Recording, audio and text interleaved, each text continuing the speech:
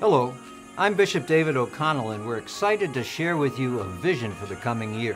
I'm inviting us all to celebrate the young people of our diocese in a special way. Beginning this July through June 2019, we are hosting a Year of Youth. Special events will be held for youth and young adults throughout the year, but most importantly, it will be a time for entire parish families to come together to pray with and embrace our young church. This year can be our opportunity to celebrate and empower our gifts to impact our parishes and to make a difference in our communities. What can happen when we hold up our young people as the great gift they are to our church? What will happen when we invite the Holy Spirit to partner with our young people to renew our church? It is Jesus who stirs in us the desire to do something great. This year will be a call for all young people like me to experience the love Jesus has for us and his invitation for a deeper relationship.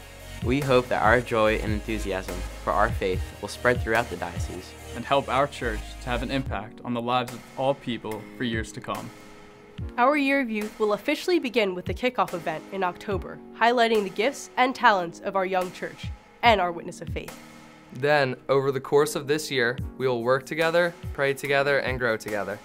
As we dive deeper into relationship with Jesus and answer God's call both personally and in our church. We hope every parish and youth and young adult in our diocese will celebrate the Year of Youth. Please join us. It's so important that we continue to welcome the young church within the life of our parishes.